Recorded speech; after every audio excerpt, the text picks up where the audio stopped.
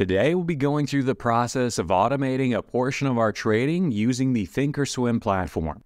Most traders on Thinkorswim don't even realize it's possible to create a trade based on a study parameter or a crossover. But that is exactly what we'll be doing in today's video. For this one, we'll be using a fairly simple example, submitting an order to buy the stock when there's a golden cross, and then to close that same stock when there's a death cross.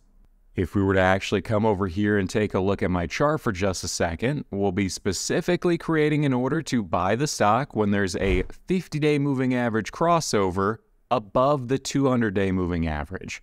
So this crossover right here.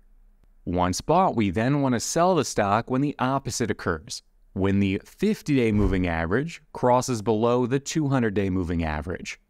So again, we want to submit the order to buy when there's a golden cross and then sell that stock when there's a death cross.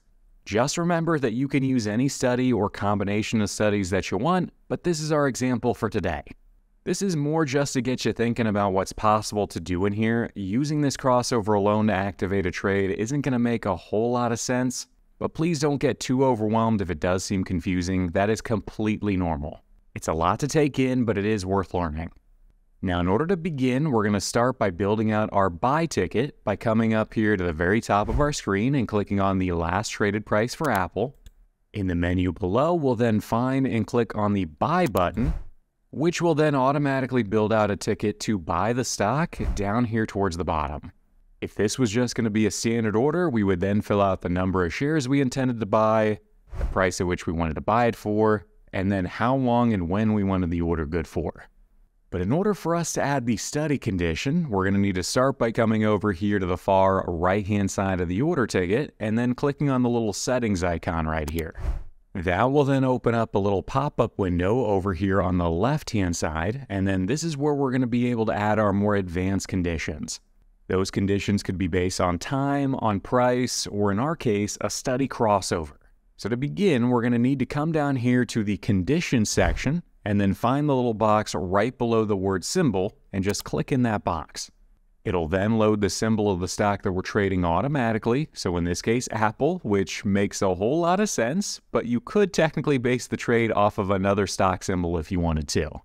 But now that we've got Apple in there, we can then come over here to the right to the next box right below the word method.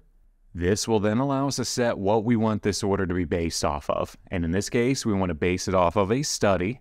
And in order to start fresh, we can come over here to the right and click on the little box marked edit. That'll then open up another window that you might have seen before if you've ever made a scan within Thinkorswim.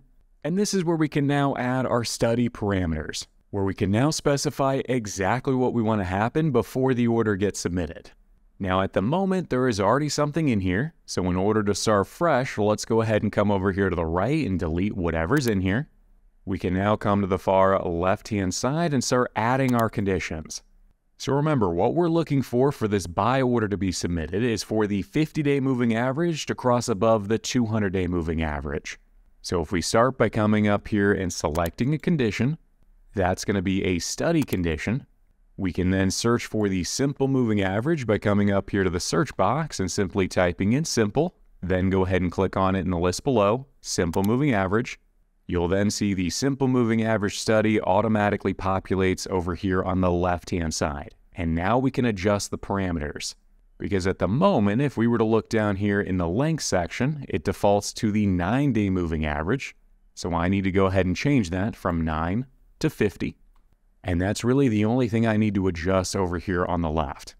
But now coming over here to the right, I can specify that I'm looking for the 50-day moving average to cross above the 200-day moving average.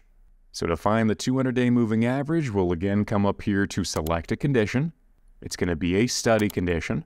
Within the search box at the top, we'll again search for the simple moving average and then go ahead and click on it in the list below. Just like before, we now need to adjust the input parameter, and in this case, we're adjusting it from the 9 period average to the 200 period average.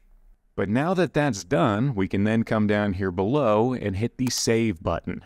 And that's really it for the opening parameter if that was all I was looking for. If I wanted to add additional studies to this, I could come up here and hit Add Condition, And then I could continue adding the things that I wanted to look for before the order is submitted. But in my case, this is all I wanted to look for the 50 day moving average crossing above the 200 day moving average. And also, I'll mention the way it knows it's the 50 day and the 200 day is because up here at the top, it currently says D for day. If you were to click on that, you're actually going to see a little menu come up where we could adjust this to a minute chart or a two minute chart or three minute chart, really whatever it is you wanted to use. But in this specific example, we do want it to be the daily moving average. So we're going to come back over here and click away from that. And now in order to save this, we could just come down here below and hit the OK button. So now what it's saying is it's looking for this study to be true for the 50-day moving average to cross above the 200-day moving average before this order up here above is submitted. So in order to buy the stock with a limit price of 153.92, which doesn't make a whole lot of sense, so what I'm going to do is actually flip this over from a limit order to a market order. And now what I'm saying is if this ever happens, go ahead and submit a market order to buy the stock immediately. And if I was ever confused, I could actually scroll down to the bottom of this window here, and it actually gives me a little description of exactly what we're about to do. Right here it says wait until the following condition is satisfied before the order is submitted to buy the stock. So wait for the 50 period moving average on the SMA to cross above the 200 period moving average. And now to save that, we'll just come down here below and hit the save button. And if all I wanted was a buy order to buy the stock if that ever happened, then this is all I would have to do. I could just come down and hit confirm and send and place the order. But in my case, I want to say that if this ever happens, if I ever buy the stock, I automatically want to sell it if the reverse is true. If the 50 day moving average then crosses below the 200, I want to exit this position. So to do that, we're going to come back over here to the far left hand side and flip this over from a single order and instead say first trigger sequence. So I'm now saying that if the first order ever fills, I want to activate a second order. And now in order to build out the second order, I could just simply right click on the green line here and say create opposite order. Or I could come up here to the very top of the screen where again we see the current price of Apple. Just go ahead and click on that. And this time instead of selecting buy, we're going to click on sell. And now down below, you can see our brand new order ticket. This time it is an order to sell the stock. And remember, this one is only going to get submitted if the opening trade fills. And now in order to add those parameters, we'll again come over here to the far right-hand side of the order ticket and click on the settings icon. We'll get the exact same window as before over here on the left-hand side. And let's go ahead and begin by coming down here to the conditions window, clicking in the little box below the word symbol.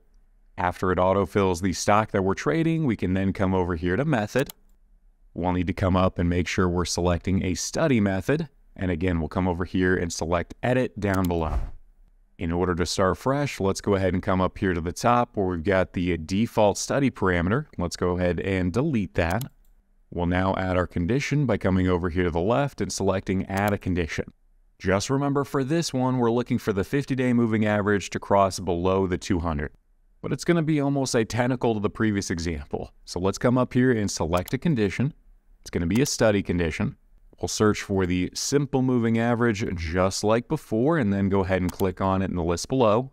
We'll adjust this from the 9 period average to the 50. However, in this one, we're going to be looking for it to cross below the 200 period simple moving average. So we can look for the simple moving average We'll go ahead and adjust this from 9 to 200. And now that that's done, we'll just come down below and hit the Save button. We can now see the parameter just up here above in the little conditions window, and you can again see it is defaulted to the daily simple moving average. Once I'm happy with that, I'll just come down here below and hit OK. And again, now I'm saying I only want to submit the order to sell this share of stock, if the 50 day moving average crosses below the 200. So if there is a death cross. But I'm not quite done yet. I do need to come up here and adjust this over from a limit order to a market order, since technically I have no idea what Apple's going to be trading for whenever that crossover happens. But now that we've got everything filled out correctly, everything looks good. In order to actually place this, we can just come down here below and hit the Save button. There we now have our opening and closing ticket built out. And now to place it, we'll just come down here below and hit confirm and send, and then hit send. There you can now see our open orders directly on the chart. I've got my buy order right here as well as my sell order. And we could also keep track of that by coming back over here to the monitor page. And right up here at the top, we can see those opening and closing tickets. You could also see the parameters that we set by coming over here to the far right hand side and clicking on the little gear icon here. And now down below, we can see exactly what we set. So right here are those same parameters that we built out earlier. And right here, it gives you a little description of what this order is waiting for. But if we were to exit out of this, remember going back to the chart for just a second, what this trade is looking for or waiting for is for this blue line, the 50 day moving average, to cross above the gold line here, the 200 day moving average. Whenever that does happen, a market order is going to be submitted to buy one share of Apple. And then if that happens, if I ever buy that one share of Apple, I'm automatically going to put out an order to close out of that same stock if the reverse happens. So it's then going to wait for the blue line to cross back below the gold line to exit out of the trade. But that's just one way you can create a much more advanced order within Thinkorswim. And again, you can base these trades off of nearly any type of condition or any indicator that you want. Hopefully, after all that, you feel at least a little bit more comfortable with the process, but if not, that is totally understandable. But for those of you still watching who are still looking to learn more about TOS, you might find this next video helpful as well. Otherwise, I hope you all have a great rest of your week, and I'll see you on the next one.